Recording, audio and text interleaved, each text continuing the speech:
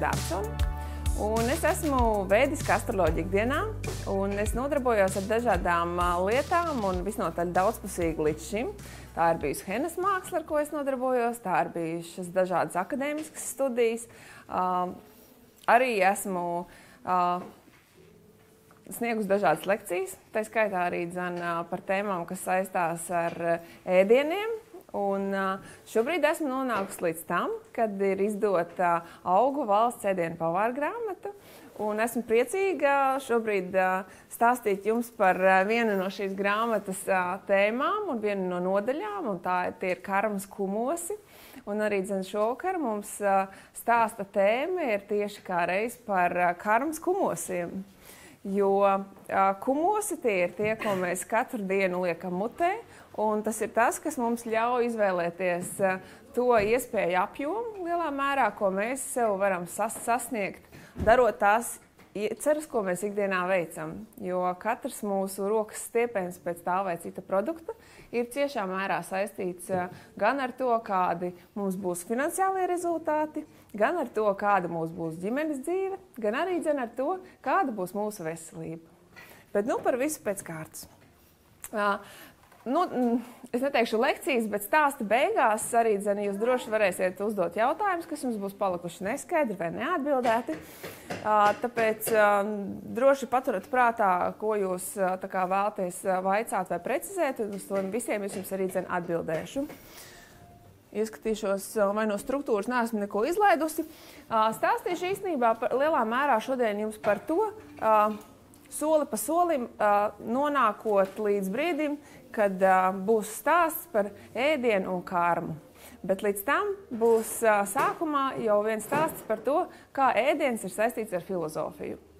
Jo šajā laikmetā ļoti daudzi virzieni mums atverās uh, izziņai, kādos mēs varam paplašināt savas iespējas, uh, izglītoties uztura sakarā. Mums ir iespēja un informācija un zināšanas par to, lai mēs uh, izvēlētos tādus vai citādus produktus maltītēs. Un uh, nereti šīs filozofijas mums liek arī to ideju pārņemt un kļūt par kaut ko. Bet tā mūsdienu cilvēka individualitātes šī tendence uh, neļauj viņam viennozīmīgi aiziet kādā virzienā. Tāpēc reti kurš var sevi nosaukt par tīru svaigādāju, par tīru vegānu, par tīru kaut kādu citu uh, ēdiena intereses vai virziena piekritēju. Un lielākoties mēs cenšamies variēt.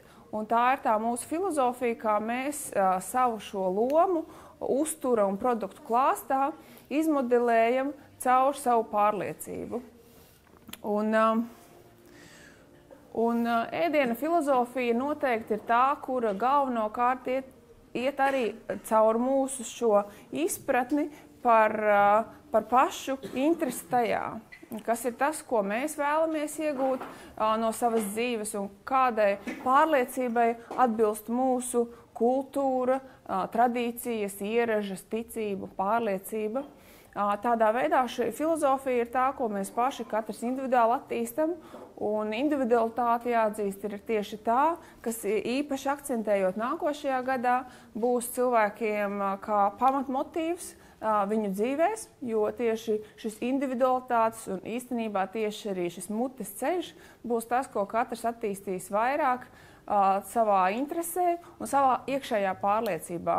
Tāpēc arī Nav velti tas, ka jūs šodien šeit esat uh, interesētas uh, paklausīties, uh, pēc tam varbūt padomāt, pēc tam varbūt šo to pārņemt, šo to arī kā, vienkārši informatīvi izprast. Un tālāk izvēlēties to savu ceļu, jo nav moderni vairs kļūt varbūt tik daudz par kaut kādu konkrētu virzienu sekotāju, cik daudz par, ta, par ticību sev kā postulātu. Noteikti nākošais ir tas, kas ir saistīts ar ēdienu, un tas ir mūsu prāts. Jo prāts ir tas, ko mēs esam kultivējuši visu līdzinējo mūžu, izglītojoties, mācoties, attīstot savas zināšanas, savas praktiskās gaitas, tālāk virzot. Un prāts ir tas, kas arī nosaka to mūsu latiņu, pēc kuras mēs ēdienu izvēlamies.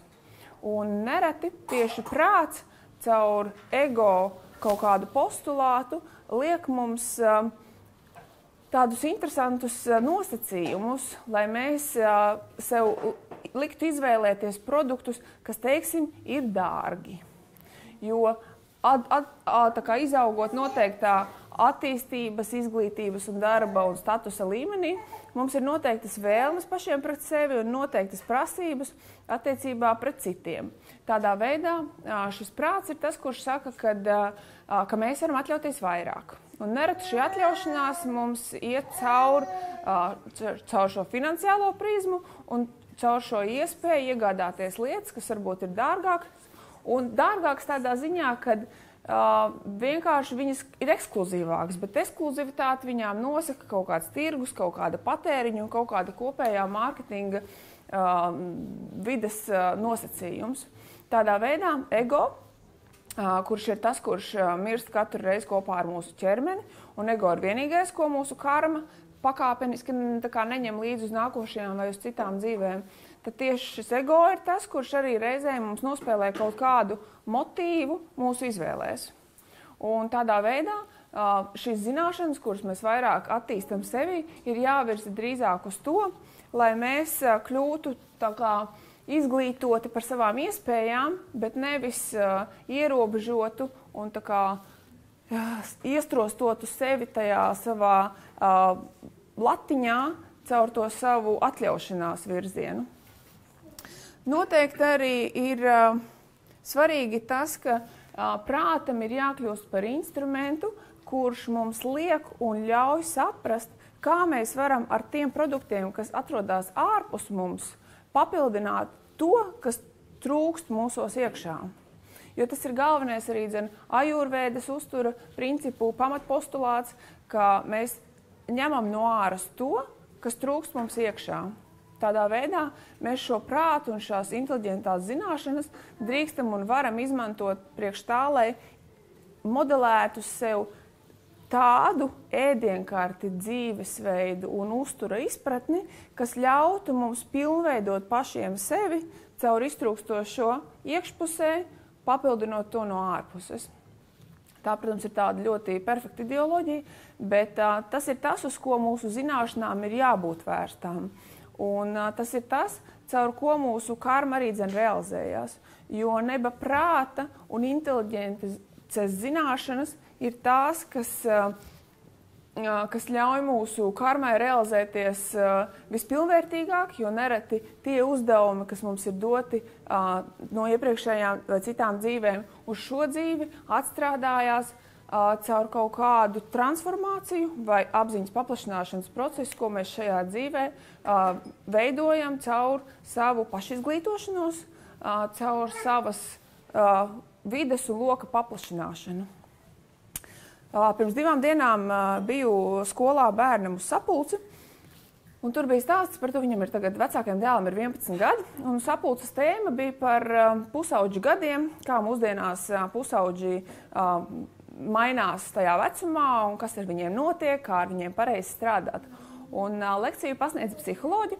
Un viņa stāstīja un attēloja arī dzenu uz ekrāna to, kā mēs vienlaicīgi varam uh, to stresu un tos uh, notikumus tajā izaugsmas procesā no vienas puses atslogot no otras puses ar saviem aizsargu mehānismiem, kas ir mūsu rūpes, gādība, psiholoģiskā drošības sajūta. Uh, Un tajā brīdī, kad no augšpuses tajā diagrammā nāk tas virs stress virsū, tad uzvar tā puse, kur ir tā nosargātākā. Vai nu ir tas stress, kas viņam caur to pusauģu pieaugšanas laiku nāk virsū viņam, un tas pārņem to spriedzi viņā, vai no otras puses ir tā aizsarga mehānismu sistēma, kas ir tā ģimene un tā drošība, un tas viss, kas kompleksēs, un tas kā mazina visu to to sasprindzinājumu, un tas stress neizveidojās kaut kādās problēmās. Un, uh, skatoties uz to diagrammu, cik uh, izprotami uh, un skaidri viņa uh, parādīja tādas uh, lietas, ko vārdos stāstot, šķiet pašsaprotams, arī dzenes uzzīmēja vienu apli, jo es domāju, ka uh, iespējams tā ir, ka uh, pat vienkāršas lietas reizēm attēlojot kaut kādā attēlojumā, viņas kļūst saprotams. Tāpēc es domāju, kāds eh, maniem karmas kumosiem uh, varētu būt šis attēlojums. Un attēlojums uh, man tapa visnotaļ arī zem vienkāršs. Stāsts ir par to, kā notiek šī apziņas transformācija un paplašināšanās uz uzturu jautājumiem, un kā karmas izmaiņas ir reālas dzīvē caur, caur, caur vienkāršām ēdienreizēm. Jo vispār jau kāds ir sakars astroloģijai ar, ar, ar mūsu muti un kāda visām lielajām planētām ir darīšana ar mūsu ēdienu. Bet īstenība ir tāda, ka katra, katra planēta, kas atrodas debesīs un tā realizējās uz Zemi, caur mūsu dzīvēm bija cauri ne tikai noteiktas uh, lietas un procesus un notikumus, bet katra no viņām arī realizējās uz Zemes caur noteiktu krāsu, skaņu, formu, garšu, ciparu. Uh, no astroloģiskā viedokļa varbūt vairāk mēs nākošajā šīs dienas lekcijā runāsim par arī dzen, nākošā gada prognozēm. Taču no uzturviedokļa mēs viennozīmīgi varam teikt, ka katra cilvēka kartē jau ir redzams tas, kā viņas ēdiena kultūra ir kā, realizēta šajā dzīvē. Viens ir vairāk orientēts uz saldu garšu, viens ir vairāk orientēts uz, uz, uz skābu vai sāļu garšu. Un, tas ir redzams, un uzreiz mēs arī varam redzēt, kādas ir kā, paredzamās sekas un rezultāti tam, kādā tendencē tas dzīves laikā iet. Bet nu, atgriežoties pie šīs, šī zīmējuma, Kas notiek? Katru reizi, kad mēs kaut ko, teiksim, vienas dienas griezumā, ir ēdienreize, mēs ēdam. Un tā ir mūsu izvēle, ko mēs ēdam. Un, lai arī šķiet, ka neviens reizē mūs neredz, kad mēs vēlos vakaros ēdam cepumiņus ar tēju Un neviens nezina, kas ir tajā paciņā, ko mēs tur tā klusiņām čaukstinam zem galda. Uh, karmi jau neguļ arī, arī tumšajā diennakts laikā. Un uh, vienalga tā ir tā kā atspieduma daļa, ko mēs iegūstam pēc tam, tālāk nākotnē no tā, ko mēs esam darījuši šodien. Un tādējādi šis lokus izpildās jebkurā diennakts laikā. Arī tumsā, arī vakarā un arī, arī pa klusvam. Un stāsts ir par to, ka alažums ir kaut kāda motivācija, kāpēc mēs kaut ko ēdam, kad mēs kaut ko ēdam, ko mēs ēdam, ar ko kopā mēs ēdam, priekš kam mēs to darām. Un tā tālāk ir daudz dažādi faktori, kas ir saistīti ar jebkuru mūsu ēdienu. Un tas pat nav runa par to, vai tās ir brokastis, vai tās ir pusdienas, vai tās ir grēcīgas pakluso vakariņas, vai tās ir uzkodas, vai, ir, vai tā ir gaļa, vai tā nav gaļa. Pat atkāpjoties no tā, mēs šodien runājam. Jo nav pat svarīgi, teiksim, šodien tik daudz runāt par to, kāpēc augu valsts produkti ir visbrīnišķīgākā ilgspējas iespēja planētai un jums un, un viss. To, lai, to, lai, to varbūt citā reizē vai pēc citā, cita konteksta. Bet karma neatceļās arī tad, ja jūs ēdat augu valsts produktus, teiksim, pārmērīgā daudzumā. Ja jūs dominējat kaut kādu garšu, mēģinot viņu aizstāt, viņ, viņas kā, trūkumu dzīvē aizstāt caur produktiem, arī tad rezultāts nebūs brīnišķīgs. Tāpēc arī mēs soli pa solim vienkārši veidojam to izpratni. Jo no astroloģiskā viedokļa, kas ir svarīgākais, ir šī zināšanu gaisma, ko jūs iegūstat. Un šīs zināšanas ir tās, kas izgaismo to, neizpratnes, neskaidrības, tumsonības un nezināšanas teritoriju, caur kuru mēs maldamies dzīves soļos, nesaprotot, kāpēc mums ir kaut kādas konkrētas problēmas, kāpēc mums ir veselības sarežģījumi, kāpēc mums ģimenes dzīvē ir uh, nesaskaņas, kāpēc mums uh, naudas plūsma nav tāda, kā ir iecerēta vai tāda prognozēta, kāda viņai ir, kā vajadzētu būt. Bet tas viss ir seku līmenī. Kamēr mēs strādājam šajā seku līmenī, tikmēr mēs visu laiku cīnāmies ar tām veids, kā astroloģija saka, mēs atrodam cēloni, izmainām to, un tālāk mēs iegūstam citu realizāciju uz, uz, uz, uz, uz noslēgumu un arī uz šo gaitu. Tādā veidā šis uzturs priekš šīs dienas man ir kā instruments īstenībā jums, lai izstāstītu par visu pārējo. Jo caur šo uztura prizmu es stāstu par to, kā citkārt es jums varētu stāstīt teiksim, par, par, par attiecībām ģimenē, par partnerattiecībām, filozofija ir mazliet atšķirīga, bet, bet karmiski šis stāsts ir līdzīgs. Tātad, sekojot visām tām motivācijām, kāpēc cilvēks ēda to un to un to un to, viņš to visu pabeidzot atgriežas principā turpatās. Dienu no dienas šis cikls turpinās, un viss ir par riņķi. Un vienā dienā mums gribās vairāk vienu garšu, citā dienā vairāk citu garšu. Tādā veidā mēs it kā dažādojam savu dzīvi, un noteiktās dienās mēs atļaujamies vairāk, vai ņem, ēdam kaut ko savādāk, Un šķiet, ka mēs lutinām sevi, bet īstenībā mēs vienkārši cenšamies iegūt šo pilnvērtīguma, pilnīguma sajūtu, nu ne tādā apaļīguma ziņā, bet tādā balansā. Bet atgriežamies vienmēr vienu pie viena un tā paša. Un nonākam turpatās un skrubinam atkal kaut ko zem galda, jo gribās kaut ko garšīgu. Kāda ir tā izeja? Un kāda no ēdiena filozofijas viedokļa, kas ir šīs dienas mana sakāmā tēma, mēs varam transformēt, jeb izmainīt šo apziņu, jo šī transformācija pēdējos daudzus gadus ir bijusi tāda ļoti populāra tēma, īpaši sieviešu pašattīstības un pilnveidošanās zināšanu kā, virzienā. Un nereti ir kļuvis tā arī neskaidrs, kas tad ir šī apziņas paplašināšana un kā tas notiek, un kas ir tā transformācija un kā to izdarīt. Tas, ko es jums šodien stāstu, kad īstenībā tas viss ir uh, iespējams arī caur ēdienreizēm un arī caur ēdienu. Man druskuļi tā kā noraustījās tas aplis, jo es ar Jānis Klēpēju vakardien zīmēju. Viņš man tā pagrūda, bet es domāju, viss pieder pie lietas. Tā kā viņš mums šodien arī ir fona troksnis, tad uh, ar viņa roku uh, tāds uh, loks arī ir zīmēts. Un stāsts par šo zīmējumu ir sekojošs.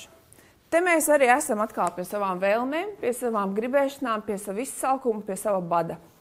Mēs ēdam, bet ja mūsu roka ir pastiepusies pēc kaut kā cita, kā tas ir bijis ierasts līdz šim, un mums tam apakšā ir kaut kāds skaidrojums, filozofisks vai izpratnes, vai kaut vai izmēģinājuma, tad mēs varam aiziet jau pa citu loku un nonākt, pieņemsim, tur, kur mēs esam šobrīd.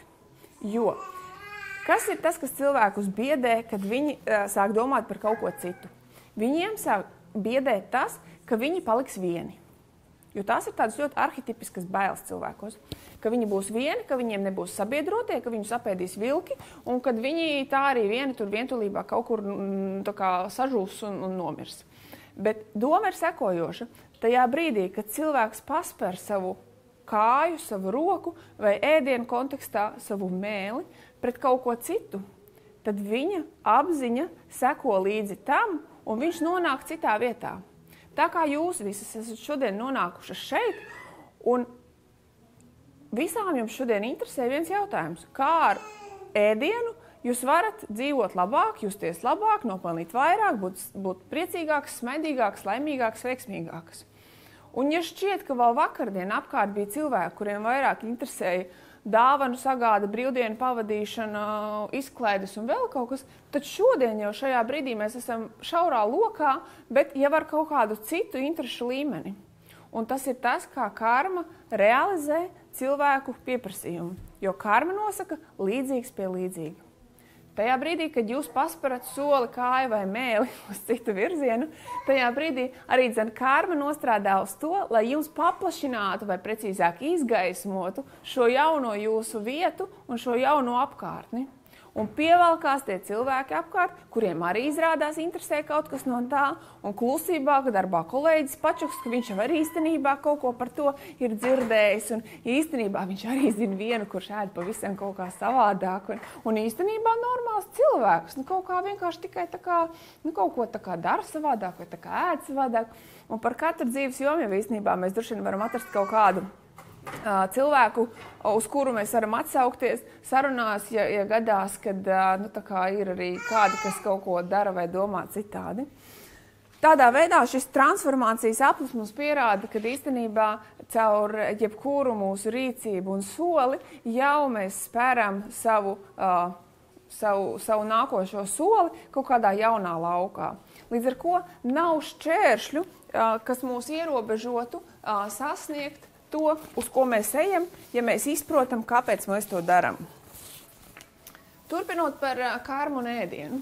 Nākošais punkts, par ko mēs, uh, mēs runāsim, vai precīzāk es jums stāstīšu, ir, uh, ir uh, ēdiens un ķermenis.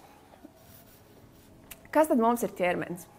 Ķermenis mums ir dots šai dzīvē lietošanai. Un ķermenis ir tas, kas uh, prasa mūsu atbildību pašam par sevi.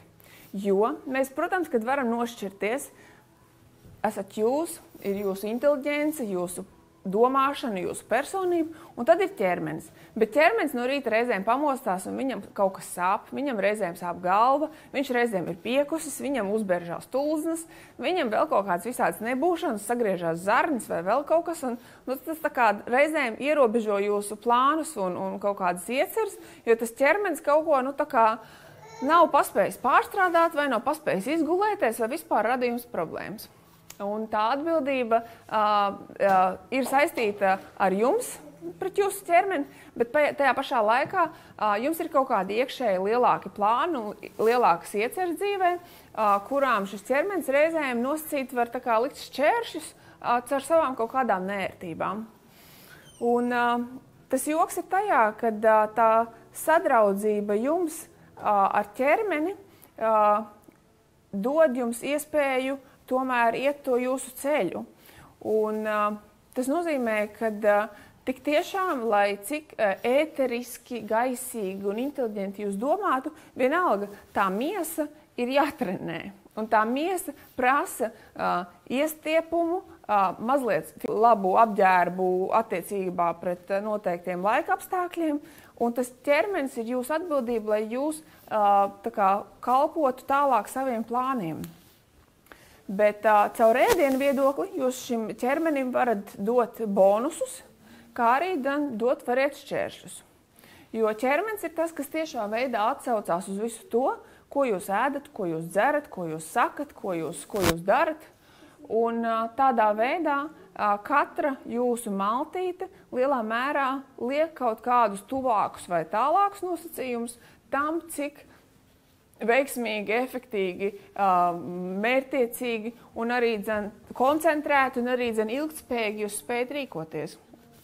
Teiksim, nepēstas brokastis reizēm jums var iekonomēt kaut kādas minūtes, bet tajā pašā laikā tas var radīt kaut kādas koncentrēšanās grūtības kaut kādos inteliģentos darbos, jo jums vienkārši ir tāds disbalans sevī.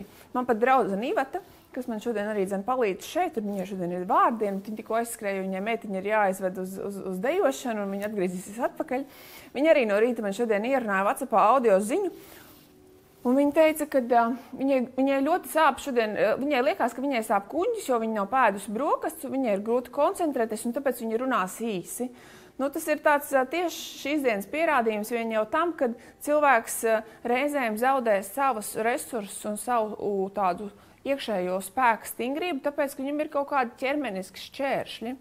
Un tādā kontekstā viennozīmīgi tā atbildība par ķermeni ir jāuzņemās pašam cilvēkam. Izklausās loģiski, bet reizēm mēs ejam pretrunā. Un arī nevēl, teiksim, slāvu kultūrās ir šis teiciens pasēdēt nadarošku. Un tas nozīmē, ka mēs piesēžam tajā brīdī, uh, lai šis ķermeniskais veidols sasaucās un atpakaļ sastājās vienotībā ar mūsu dvēseli. Jo ir tā, ka cilvēks pārāk ātri skrien, pārāk ātri steidzās, pārāk kaut kur cenšas kaut ko nepalaist garām, un viņš kļūst tāds nesavienojams. Viņš kļūst tādā sašķeltībā. Un, esot šajā, šajā sašķeltībā, cilvēks arī zaudē savu spēju būt šeit un tagad. Jo tur, kur ir mūsu domas, tur ir mūsu enerģija. Un tajā brīdī, kad mūsu domas steidzās jau uz priekšu tam, kur mēs esam, un, teiksim, ikdienā pat pārvietojoties, mēs jau domājam par vietu, kur mēs nonāksim, mēs zaudējam to savu pie, pieskaru šeit un tagad vietai, kur mēs esam. Tas nozīmē, ka reizēm Un, protams, tam visam mums ir jāvērtē ļoti individuāli. Katra cilvēka caur horoskopu mēs redzam, kuram tas ir vairāk vai mazāk izteikts. Bet caurmērā visiem cilvēkiem šī steiga nozīmē, ka viņi zaudē šo savienību pašiem ar sevi. Un, uh, tas nozīmē to, ka reizēm vakarā atgriežoties mājās, Cilvēks jutās apjucis, nespēja atrast pats sevi. Ir atskrējis, it kā nekur vairs jāskrien nav, bet nav šis sazemējums, nav šis, šī stabilitāte, nav, nav tāda, tāda vienotība pašam ar sevi. Ir viena arī tāda laba praksa, ko pastāstīšu jums, kā atgriezt sevi atpakaļ savā ķermenī. Un šī praksa nosaka, ka jūs atgriežoties mājās, ieiet tumšā telpā, vēlams tādā telpā, kur nav citi. Jo pārējie nosacījumi kā, nu, būs labvēlīgi tam, lai jūs būtu vien tajā telpā. Ieiet tumšā telpā, klusumā un noģērbieties kaili. Noguļaties uz zemes un uz pāris minūtēm vienkārši jebkurā iespējamā pozā, cik nu šaurs ir skats, vai nu cik nu klusē ir grīda un vide apkārt, un vienkārši paguļam. Un šī savienība saslēdz atpakaļ mūs kopā ar sevi. Un pēc tam jau var pārģērbties mājas drēbēs un doties pie savējiem, un tas cilvēka veidols ir kļuvis vienotāks. Un tas jums, jūs pasargās no tā, ka jums būs kaut kādas iekāres, kuras nav balstītas jūsu patiesajā vēlmē, bet kaut kādā nepiepildījumā līdz tam. Jo šie deficīti bieži vien mūsu vakaros dzēn kaut ko iedzert, kaut ko apēst, kaut ko vēl, kaut ko arī beigu beigās pateikt. Bet tā jau ir vairāk astroloģiska tēma par to, cik ļoti lielā mērā mute uh, ir uh, instruments abos virzienos. Un pie tā es mazliet pēdējā punktā par uh, karmas kumosiem vairāk runāšu. Uh, kad mēle ir tieši tas, muskulis, ar kuru mēs taisām vislielāko karmu, un nevis rokas vai kājas, kāds mums varētu šķist, bet tieši mēle ir tā, kas mums rada vislielāko karmu. Ar mēli mēs visvairāk atstrādājam to, kas mums ir bijis uzdots uz šo dzīvi, kā arī dzen, mēle ir tā, kas sastrādā vislielākās lietas mums nākotnē. Un, tādā veidā, protams, kad nenoliedzami šī vienotība, ko mēs spējam iegūt caur savu viengabalainību, ir tā, kas pasargās mūsu un arī citus cilvēkus mums apkārt, lai mēs uh, nekļūstu tādi kā izšķiesti, tādi sašķēdīti. Nākošais stāsts ir par ēdienu un emocijām. Uh, katru cilvēku šīs emocijas dienas gaitā ļoti lielā mērā pakārto notiekošiem notikumiem ap, kā, sadzīviski. Uh, Emocijas ir tās, kas mūs var pārņemt uz līdzenas vietas atšķirībā no citiem cilvēkiem, citādā tonalitātē. Emocijas ir tās, kas ir ļoti divdabīgas, viņas ļoti svārstās, un mēs varam ļoti elastīgi pārslēgties no vienas emocijas uz citu. Un ir pat šīs emociju šūpoles, kur mēs zinām, ka psiholoģiski ir izskaidrots, ka no, tur, no mīlestības līdz naidam viens solis un tur no asarām līdz priekam arī tikpat tālu. Un tā tiešām ir šīs emocijas. Viņas reizēm mēdz pārslēgties savā starpā, un tās ir tās, kas mūs bieži vien pārvalda vēl pastarpināti mūsu inteligencei, mūsu fiziskajai noturībai. Un tās ir tās, kas mūs ļoti ciešā mērā, jo īpaši sievietes, ietekmē arī caur mēnesi fāzēm. Jo, protams, mēnesis ir tas, kurš sievietes emocionāli, mentāli un arī fizioloģiski caur šķidrumiem ietekmē visvairāk. Un tādā veidā šīs mēnesis fāzes, protams, pilnasinīgi mums dod vai nu uh, tādu sajūtu, ka viss būs labi, viss ir brīnišķīgi, priecīgi, viss ir iespējams.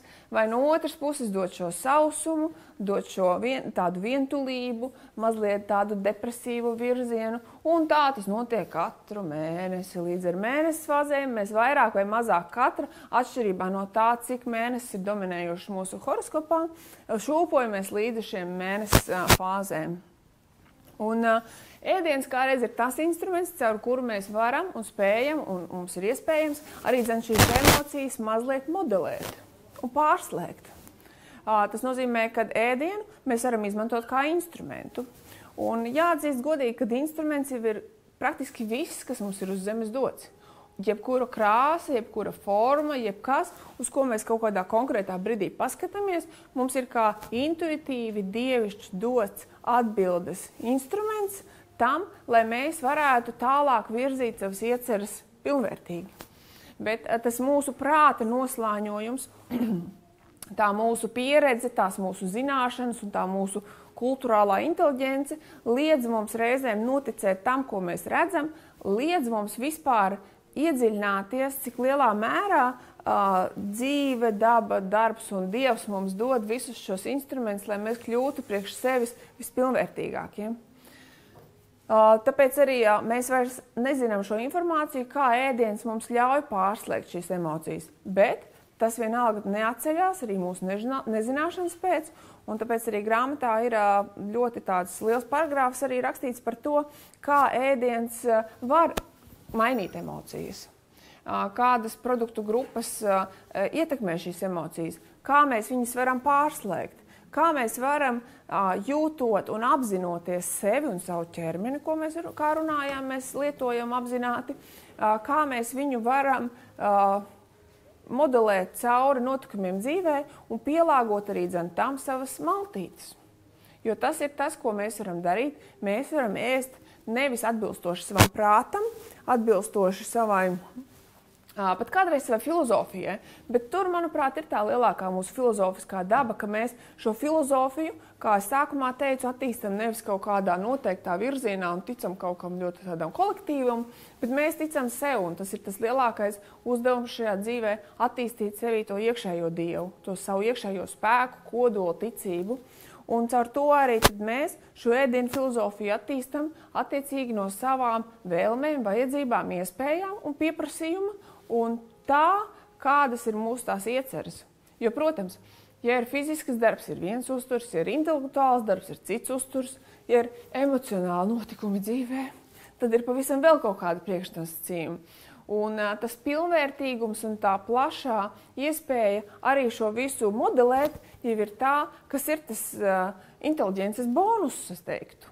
Un tas ir tas, kādēļ mēs arī šodien šeit pavadām laiku un kaut ko domājam, un klausamies, un saprotam un, un, un kaut kam noticam, uh, lai, lai, lai mēs tā kā ietu tālāk to savu pārliecību, esot jau apbruņotāki ar visu dzirdēto. Uh, noteikti nedrīkst aizmirst par garšām, jo ēdiena garšas uh, ir tās, kas lielā mērā kalpo arī dzen, kā, kā medicīniskas zāles no jūrvēdas prizmas, gan arī teiksim, no karmiskā aspekta. Garša noteikti ēdienā var būt tā, kas var paspildināt kaut kādus vājus aspektus un samazināt kaut kādus sarežģītus aspektus.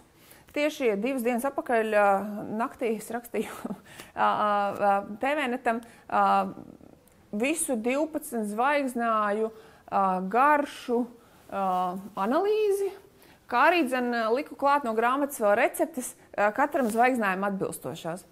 Es domāju, drīz tas arī tiks publicēts, un tad arī varēsiet izlasīt katram no jums, kāds no ir zvaigznājs. Uh, tam piemērotās garšas. Jo katrā zvaigznājā, protams, mēs nevaram teikt, ka visus cilvēkus mēs varam dalīt 12 uh, dzīvniekos un tā arī visu dzīvi caur to iet. Un tas manā skatījumā ir tieši šis veids, kā astroloģijas uh, plus, ka mēs neesam tik šauri tajā, ka mēs visus dalām 12 zvaigznājos. Uh, bet nenoliedzami, protams, uh, kaut kāda šī vibrāciju līmeņa ietekme ir cilvēkiem uh, kolektīvajā apziņā caur šo viņa zvaigznāja prizmu. Tāpēc arī nevaram mēs noliekt kaut kādus no šiem instrumentiem. Mēs tik tiešām varam izmantot, un arī būtu lieki to nedarīt, ja tas ir kļuvis par instrumentu. Tāpēc šī garšu modelācija ir iespēja, ko mēs varam pielāgot katrā ēdienreizē, jo sāļš, salds, skāps, sūrs, kādus vēl neminēju salds, sāļš, skāps, ass, rūkts un sūrs. Visas šīs garšas ir pieejamas caur produktiem, un šī inteliģentā māksla ir to savienojamība, un šī savienojamība arī nosaka šo kompleksās garšas buķeti. Jo tikai pareizi sabalansējot starp produktiem garšas noteiktā ēdienā, mēs iegūstam šo vēl super neiespējamāko garšu, šo umami, kas īstenībā ir tā laimes garša, pēc kuras mēs visi dzīvē tiecamies un kuru mēs visi alkstam. Jo saldās garšas koncentrāts, ko mēs iegūstam caur konfektēm, vīnu, kūkām un, un, un arī seksuālām attiecībām un partnerattiecību mīlestības piepildījumu, uh, ir tas, pēc kā mēs ejam, bet ne, bet tā ir tā vienīgā galvenā garša, caur kuru mums ir viss piepildījums jāmeklē. Jo ir cilvēkam garšo sāļas lietas, un, uh, un tajā nav nekāda pretruna. Uh, viņi arī spēj būt laimīgi, ēdot sāļus ēdienus, Un eh, tieši šī kā, savie, sadarbība caur sava ķermeņa vēlmēm, vajadzībām, un kā jau es minēju, ņemot to, kas ir ārpusē, un papildinot to, kas ir kā, iztrūkums iekšpusē, šī šī, šī kopaina arī tiek iegūta.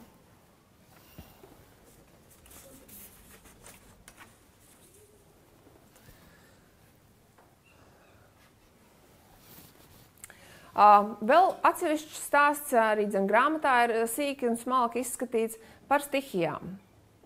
Jo uh, pamatelementu un uh, pamatstihiju sadarbība ar ēdienu ir ļoti interesanta. Jo arī dzen, jebkurš produkts nāk no kaut kādas konkrētas, es teiktu, stihijas. Jo ir produkti, kas nāk no zemes, Ir produkti, kas karājās gaisā visu mūžu, ir tādi, kas eh, atrodami ir vēl ūdenī, un katrs uh, produkts līdz ar to kaut kādā veidā ir jau saistīts ar kaut kādu stihiju. Un, uh, kas ir stihijas? Tā ir zeme, uh, gaiss, uguns, ūdens, ēters. Stāsts par stihijām Man ikdienišķis ir saistībā arī ar veidisko astroloģiju, jo veidiskajā astroloģijā ir tāda atsevišķa zināšanu un telpas arhitektūras māksla, kas saucās Vastu šastra. Un tā kā reiz nosaka, kādā pareizā izkārtojumā ir jābūt katrai telpai attiecībā pēc šīs telpas nolūka. Un, tur mēs ļoti skaisti varam izmodelēt kaut kādas sienas, aiztaisot ciet, lai noteiktās planētas vibrācijas ierobežotu vai atverot vaļā, lai, lai, lai paplašinātu šo plūsmu. Un tādā sakarā jebkura telpa jau ietver šīs stihijas. Ticam tam mēs vai nē, zinām to mēs vai nē, vienalga šī ietekme šo stihiju pār visu to vidu, kur mēs esam, un visiem tiem produktiem, ko mēs lietojam, ir nenoliedzami. Zinot šo stihiju produktu sadarbību, savienību un ietekmi mūsu ķermenī, mēs varam viņu izmantot atkal jau kā instrumentu, veidojot savu ēdienkarti, veidojot savu filozofiju par konkrētu uh, produktu, uh, un, un tādā veidā mēs jau to izmantojam uh, atkal kompleksi, priekš tā, lai saņemtu vairāk, būtu laimīgāki, veiksmīgāki, slaidāki, bagātāki un viss tas, pēc kā mēs ilgojamies. Nākošais ir stāsts par ēdienu un apziņu. Uh, apziņas ierobežojumi ir tie, kas mums uh, liek uh, izglītoties un liedz mums noticēt, kad ir iespējams savādāk nekā mēs esam auguši. Jo laikmetā šajā ļoti ātri ir tā attīstība, uh, un izmaiņas šajā attīstībā ir burtiski nu jau ne pa desmit gadiem, bet pa gadiem. Uh, kā ir ēduši pirms mums, kā ēdam mēs, kā mēs ēdām bērnībā, kā mūs audzināja ēst, kāda bija uzturs tad un no kā kurš ir kā, pārticis. Uh, mainīt šo priekšstatu uh, un šo, šo informāciju kā, caur sevi transformējot, uh, izprast, tas prasa noteiktu mm, ticību pašam sev, es teiktu. Jo, uh, jo mēs varam sekot tam, kā mums ir bijis līdz šim, un pieņemt to kā pareizāko variantu priekš mums, jo esam tā teikt, esam izauguši tādi, kādi mēs esam, un neba slikti viss ir. Un, uh, tas ir tas, kas mūsdienās lielā mērā atšķir cilvēkus, kas paplašinās, kas attīstās, kas izglītojās un iet kaut kādu to savu ceļu, kurš reizēm varbūt prasa nelielu pretestību. Jo, teiksim, televīzijā reklāmas rullē vienu produkta masu, a jūs ticat kaut kam citam. Un jūs esat it kā gatavi ieguldīt savu laiku un enerģiju, lai apbrauktu kvartālu tālāk, nopirktu to, ko jūs vēlaties bet tajā pašā laikā jūs nevarat atkāpties no tām reklāmām, kas turpina jums piedāvāt kaut kādu konkrētu maltu masu priekš jūsu svētku galda. Un uh, nav uzdevums, un mana pārliecība ir tā, ka nav jācenšas būt pilnīgā pretestībā pret to, kas ir apkārtējā sabiedrībā, jo nav māksla un nav uh, grūtība mm, kļūt ātri dīvainam vai ātri atšķirīgam kļūt ir viegli. Uh, bet kā tālāk ar to dzīvot? Jo īpaši tad, ja ir ģimene, ja ir bērni, ja ir cilvēki, uh, kas vienalga aicina ciemos, un ir grūti tādā pretstatā visu laiku saskarties ar tādu uh, teikumu, kā, nu es jau nezinu, ko tu tagad ēd, nu es jau nezinu īsti, ko tev tagad dot, vai nu es jau nezinu vairs kā, kā tevi pacienāt, jo nu, tu jau tagad kaut kā tā savādāk visu. Un tas kā, kaut kā sākumā tas liekas tā, nu tā pilnīgi tā, nu jā, nu tā ir, es tiešām kaut ko tagad citādi ēdu. Nu, nu nekas, nekas būs jau labi, es jau tā kā esmu paēdis vispār. Bet no vienas puses tas rada tā kā nērtību tiem cilvēkiem, bet vienā brīdī tu saproti, ka, nu kā, nu paga, nu, tu taču šeit ciemos tomēr, lai bišķi kaut ko garšīgu pēst, lai pēst tā kā, tā kā savādāk nekā mājās, lai, lai kaut kā bišķiņi tā kā arī sev dotu kaut kādu prieku no tā. Un tad tu vairs negribi būt tajā kaut kādā pretpozīcijā pret visiem, visu kā, ieradumiem. Un, uh, tad tu atrodi kaut kādu to savu modeli, kā tu elastīgi vari uh, būt savā pārliecībā, bet nebūt kā, tik radikāli atšķirīgs, ka tas traucē citiem un arī pašam tev. Un tā ir tā, man liekas, lielākā filozofiskā māksla, un tas ir galvenais arī, kā pasteidzoties uh, divas stundas nākošajai tēmai uz priekšu, uh, 2020. gadā, kas ir tas galvenais cilvēku uzdevums? Tas ir iet šo savu drošo individualitātes ceļu, nebaidoties, uh, ka to citu cilvēku pārliecība kaut kā, kā padarīs. Šo, šo pārliecību par tādu apstrīdumu vai tā kā nenoticēs viņai. Bet labi, nesteigsimies lekcijām uz priekšu un turpināsim nonākot pie manas mīļākās tēmas, un tā ir ēdiens un karma. Te nu mēs esam. Pusstundu vēlāk mēs sākam. Ēdiens un karma - nesaraujami jēdzieni. Jo kā, kā nu tas būtu, katrs kumos, ko mēs liekam mutē, veido mūsu karmu, atstrādā mūsu karmu un ir tiešā veidā saistīts ar karmu. Jo mute ir tā, kas vislielākajā un tiešākajā veidā ir saistīta ar mūsu ģimenes dzīvi, ar mūsu finansiālo stāvokli, ar mūsu veselību. Un kas vēl var būt lielāks par šiem trīs pīlāriem, uz kā vispār mūsu dzīve, drošība un nākotne turās? Tādā veidā arī astroloģiski mēs jau horoskopos varam redzēt, cik veselīgi, perspektīvi un ilgspējīgi ir jūsu mutes ieradumi. Un tā ir viena no interesantām lietām, ko es uzreiz arī skatos pat pirms man vēl to jautā, jo tas tiešā veidā ietekmē daudzus citus cilvēka draivus, cilvēka pārliecības dzīvē un uh, filozofiskā spēja palikt tur, kur viņš ir, vai attīstīties, paplašināties un izaugt, arī tiešā mērā saistīts ar to, cik spēcīga un uz ko balstīta ir šī mutes sfēra horoskopā. Tādā veidā viennozīmīgi cilvēks var tikt asociēts ar to, ko viņš ēd. Bet tas nav tādā šaurā izpratnē, kad ēd pīrādziņu, kļūst par pīrādziņu.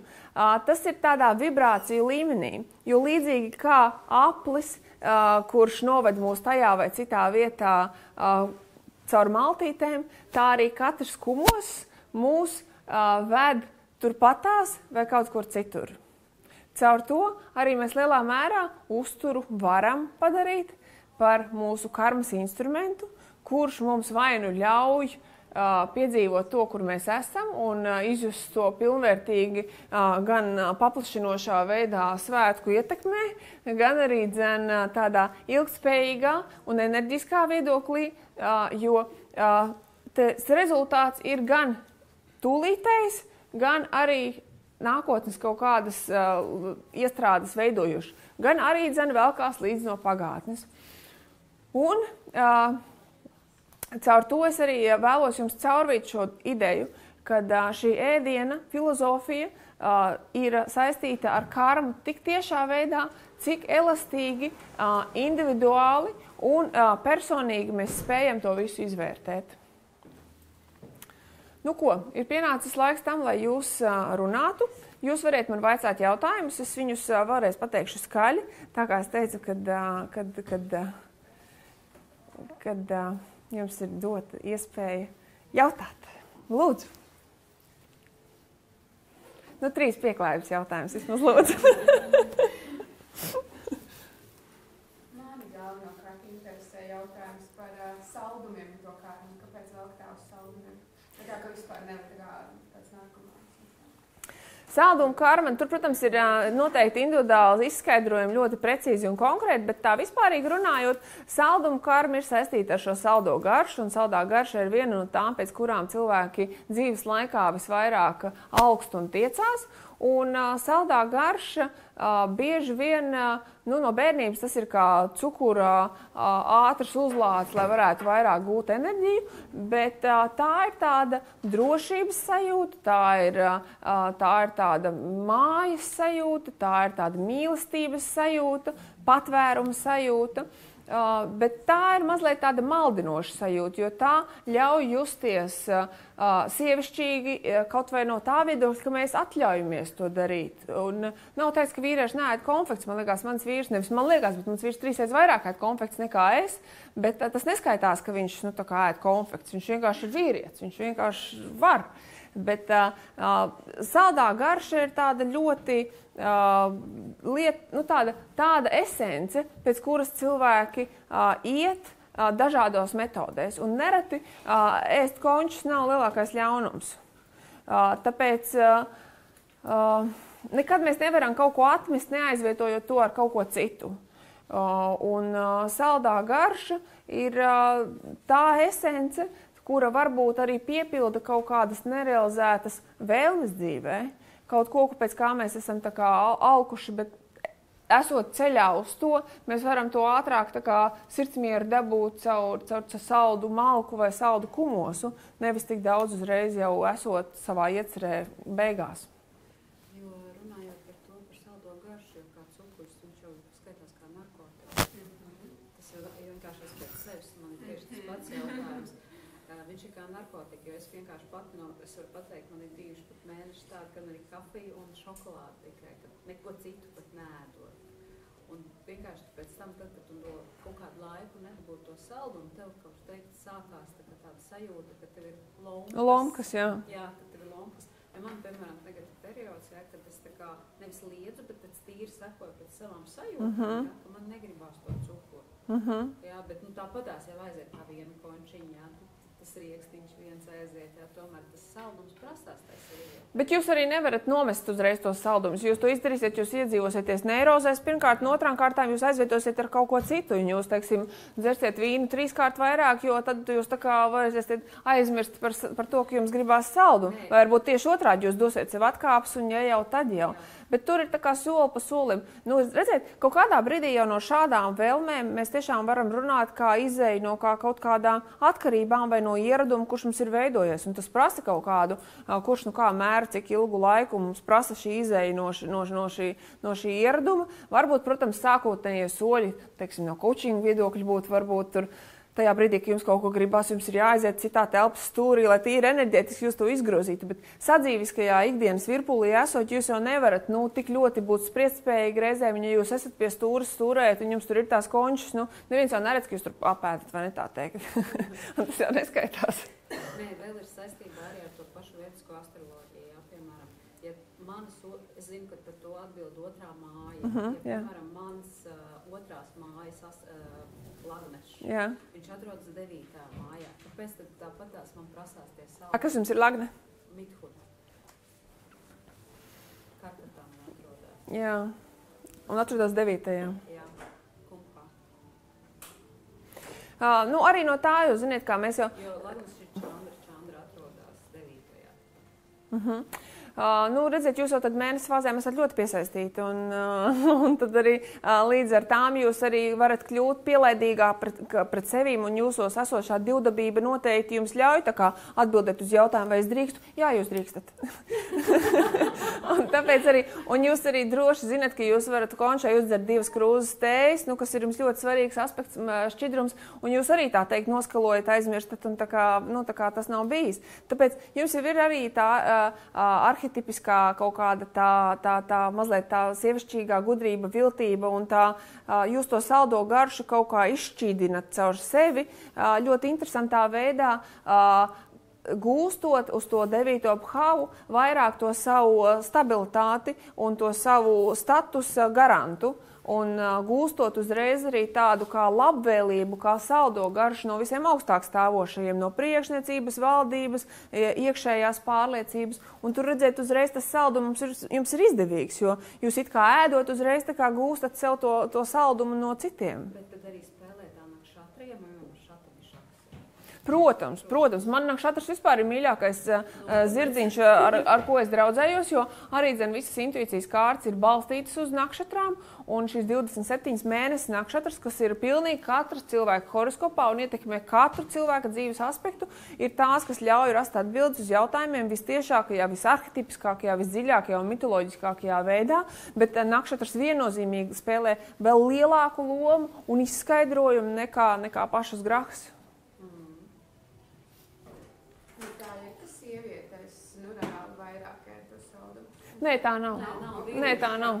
Man, nē, man, man tā kā bija, viņš, viņš, nē, nē, viņš nēd, nēd. Nu, tad bija tāda situācija, kad nu, bija slimības lapa mājās. nebija. Nebija mājās ne šokolādes, nekā vairs nebija. Jā, nē, tas tā nav ļoti individuāli. Un ir sievietes, kas ir plēsīgas un vairāk uz gaļu orientētas. Ir tādas, kurām uh, vienkārši tikai uh, zaļas lapas garšo un no tā arī dzīvo. Tas ir ļoti individuāli. Mm, nē, tas nav normāli.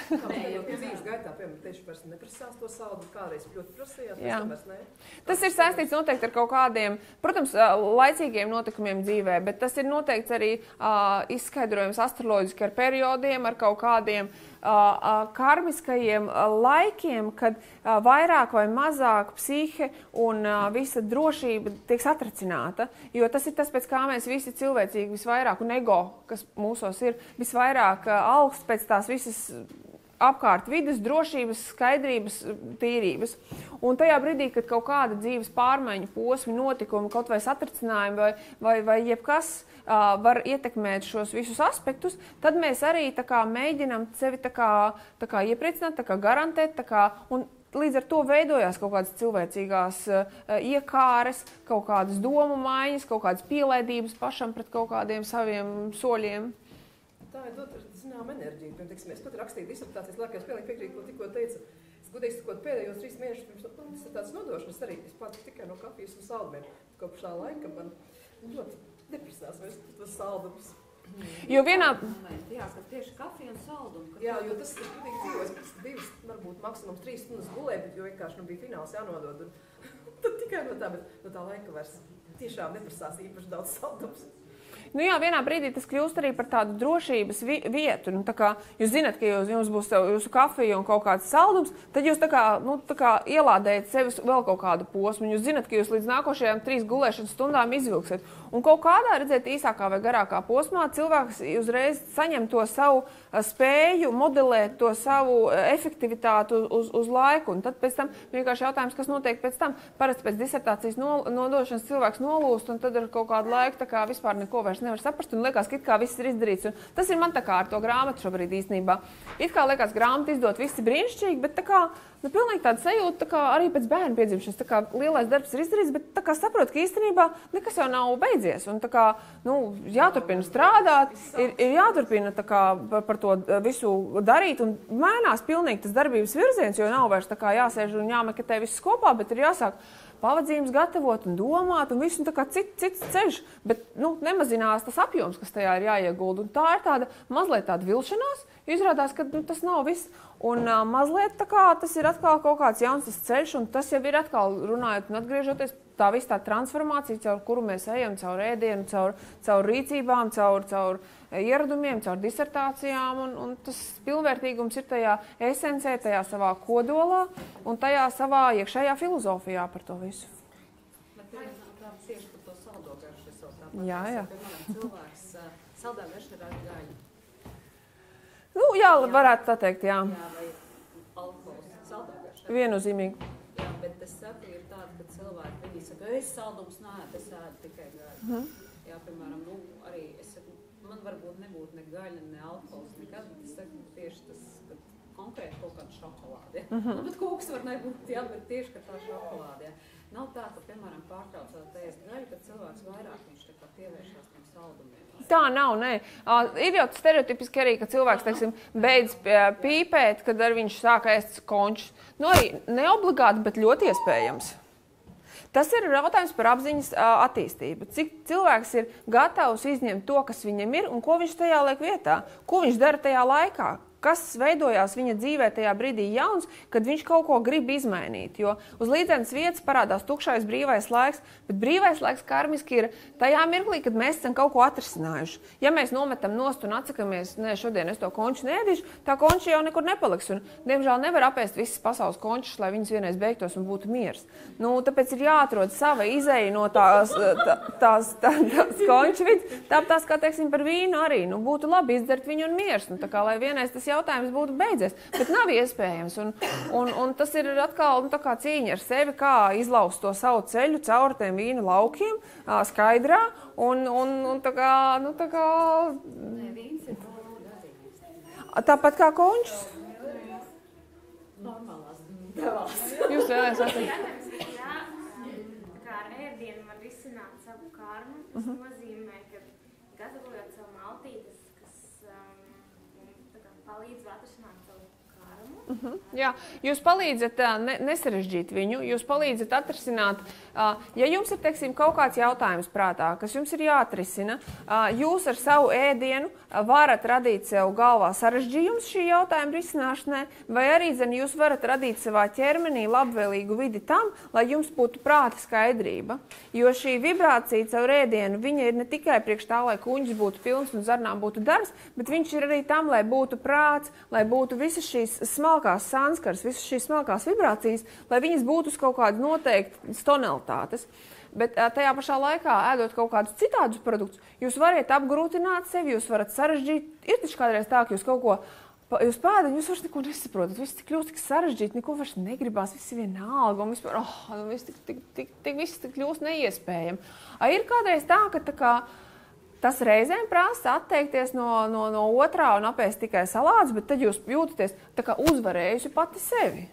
Tas nenozīmē vienmēr ēst salātus, bet tas nozīmē izaugt tajā savā izpratnē, reizēm pārkāpt pāri kaut kādām savām kaislībām, lai, lai, lai paceltu sevi kaut kādā jaunā līmenī, kaut kādā jaunā kā, spējā apzināties kaut vai savu iekšējo spēku, kas ir galvenais priekšnosacījums tam, lai jūs jau tālāk jebkuru soli veiktu sev par labu.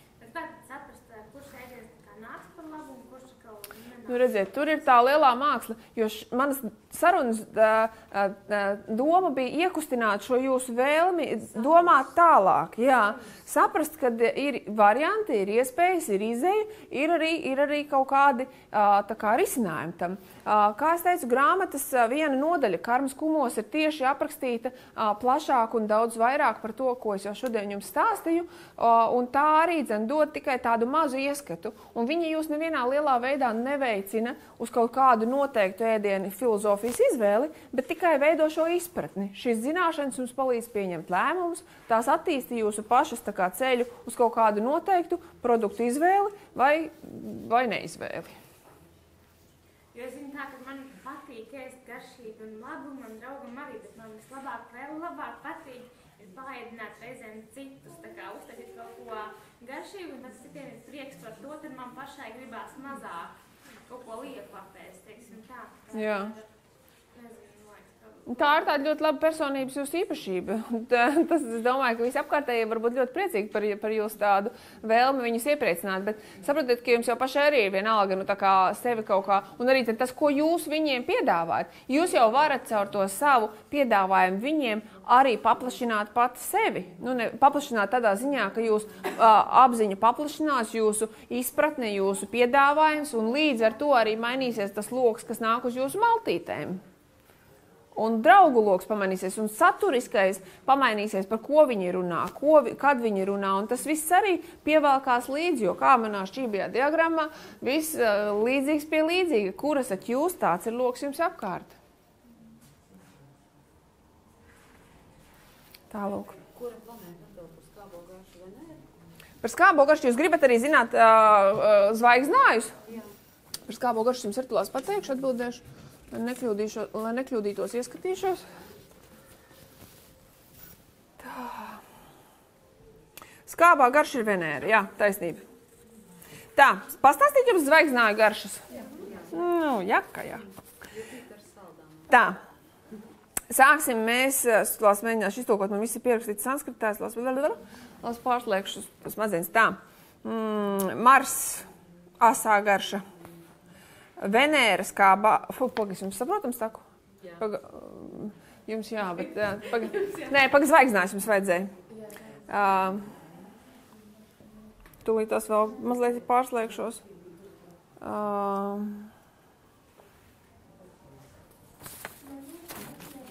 Ah, jā, jā, jā, tūlīt tās būs. Redziet, atnāca. Bija man pierakstīts. Esmu pat apjukusi. Ah, ir, ir, viss, viss kārtībā, ir. Es vienkārši parasti ne, nu, tā nestāstu par tādas lietas uh, saprotami. Tātad auns. auns asā garša. Vērsis skāba garša. Dvīnis jaukta garša. Saprotami? Tik tā, labi. Vēzis, sāļa garša, lauva, rūkta garša, jaunava, jaukta garša, svari, skāba garša, skorpions, asa garša, strēlnieks, salda garša, mežāzis, savelkoša Ziniet, kas ir savalkoša garša? Hurma. Apēdiet zaļu hurmu. O, ilgi hurmas nēdīsiet. uh, ūdensvīrs, savalkoša. Zivs, salda garša. Bet, tas nozīmē? Nozīmē, šai, šai zīmē? Uh, No visādām pusēm es jums to varu izstāstīt. Uh, tas ir uh, drīzāk, varētu teikt, raksturīga garša, bet vai tas nozīmē, ka jums ir jāēd tāda ēdiena, neobligāti? Tas īstenībā uh, tādai izpratnē jums neko nepalīdzēs. Jūs ēdot tādas ēdienas, jūs varat meklēt šo garšu caur ēdieniem. Jūs varat par to drusciņu padomāt. Vai tā ir garša, ko jūs meklējat ēdienos, vai tā ir garša, kas jums nepatīk, vai tā ir garša, kas jums kā kaut kādu asociāciju rada. Kaut kas jūsos tajā noteikti ir. Jā, lau, nē, rūkta. rūkta. Nu, pēc sevis spriežot, tikai saldums varētu ēst. Es varētu dzīvot no saldumiem. To ot, otrā māja atdod. Jā. Uh, nu, jā, lauva jau, nu, arī mēs uh, ņemam gaļas kontekstā, lauva jau ir lauka plēsējs. Bet nu, tur arī mēs uzreiz tagad, teiksim, miksējam kopā šo zvaigznāju jau ar kaut kādu tēlu. Un tas, nu, īsti godīgi sakot, veids, ka astroloģija man nepatīk tā vispārināt un teikt par visām lauvām, ka viņi ir plēsīgi gaļādāji un viņiem patīk saldas lietas. Un tas nebūs tā īsti pareizi, tāpēc, ka mēs ļoti tomēr personiski skatāmies cauri šīs kartas un varam vienmēr visus šos jautājumus iztulkot, bet mēs to darām ļoti individuāli. Tāpēc arī šis skaidrojums par šīm garšām droši vien jums vairāk sajauc galvu nekā nesajauc. Bet, um, jā, bet, bet nu, jūs prasījāt, es jums pastāstīju, bet e, es pielasīju receptes un būs arī jā, TVN tā receptes e, katrai no, no šīm garšām. Bet jūs, protams, kad variet ēst tādas receptes, kādas jums patīk, jo, jo tiešām filozofija var mainīties. Un, no astroloģijas viedokļa es teiktu, ka, manuprāt, ir svarīgākais izkāpt ārpus šī planētu režģīša un iekāpt tajā savā spēkā, savā pārliecībā un tajā savā ceļā. Un caur to jūs arī varat uh, izlavierēt gan šīs garšas, uh, gan arī visu to savu uh, vēlmi tajās piepildīt, gan arī dzen, uh, apmierināt kaut kādus deficītus caur šīm garšām. Bet tad tas nozīmē, ka, ja mēs vēlamies kaut ko uzlabot, vienalga vai ģimenē, vai attiecībās ar citiem, vai finansēs, man ir jāskatās, lai es caur ēdienu labi sajustos, justos. Tā es to saprotu. Ieklausīties savās sajūtās. Uh, caur ēdienu jūsu uzdevums ir nu, teikt, nedarīt pāri citiem. Uh, jo es negribēju šodien tik daudz runāt par to, kāpēc uh, teiksim, plēsīgs uh, um, uzturs labu karmu nenes. Jo tas ir viennozīmīgi, bet nu, tas nebija šīs dienas kā, tēma. Bet, tā filozofiskā doma ir tāda, ka jums individuāli ir caur ēdienu jāpiepilda tas, kas jums trūkst. Bet jūs nevarat uh, ar rezervēm un aizvietot ar ēdienu to, ko jums ir uzdevums darīt dzīvē. Jūs nevarat uh, iepriecināt sevi ar kūku, ja jūs iepriecina mm, kino. vai uh, jūs nevarat alkatīgi apvienot gan kino, gan kūku, pamatojoties uz jūsu ego vēlmes, ka jūs taču esat nopelnījusi. Tas ir tas galvenais, kā nesajaukt šos viltus signālus un paturēt to tīro sajūtu, kad jūsu mute ir jūsu izvēle. Bet vai nav tā, ka ja mēs tomēr pa daudz to saldumu ēdam, kā saka, tīri ēdienu ziņā, vai mēs nevaram, kā saka, mēs bloķējam tās emocijas dzīvē īstenībā, to saldo garšu no dzīves saņem, jo mēs jau saņemam caur ēdienu. Jā, mēs viņu viegli varam aizvietot. Nu kā, aiziet kaut kur, tas prasa mūsu ķermenisko spēku. Ķermenis nav trenēts un ir piekusis. Uh, viņš grib sēdēt un vienkārši ēst. A, tajā pašā laikā jūs jau varat to pašu rezultātu iegūt, pakustoties, paskraidot, aizejot uz veikalu, m, aiziet uz kino, parunāties ar kādu. Bet tas prasa reizēm, jā, izkustēt nāc sevi. Tāpēc viens no uh, punktiem bija, kas teica, ka tā ķermeniskā atbildība ir jūsu atbildība. Un pat ja objektīvi jums. Nezinu, tur izskatāties noguris, vienalga jūs drīkstat sevi iekustināt un tādējādi ietaupīt to ēšanas uh, efektu. Jo nebet tas kaut kur pazūd, kā mēs diemžēl labi zinām, arī, uh, arī, arī tas apēstais jau kaut kur mums paliek. Un uh, vēl pieminot par saldo garšu, noslēdzot, es jums varu teikt, ka saldā garša uz mēles aizņem tikai vienu mazu, mazu laukumiņu receptoru, kurā mēs to sajūtam. Un tad mēs tā ieliekam mutē, ņem, ņem, viss čokts noriem, un viss nav vairāk. Guņam ir vienalga, vai tas ir sāļš vai salds. Zarnām arī diezko, tā kā, nu, tā kā ja burbuļi nemetās, tad viss kolosāli. Bet, uh, bet tā mēle, tas ir tikai tas tā viena vieta, kur mēs to garšu izjūtam. Protams, jā, nu vienā brīdī mēs kļūstam par kalptem, kalpiem tai mēlē. Bet tā mēlē, kā es jums teicu, ir šis instruments visas jūsu karmas realizācijai. Tāpēc tas atbildības nasta uz jums šovakar uzguļās vēl lielāka.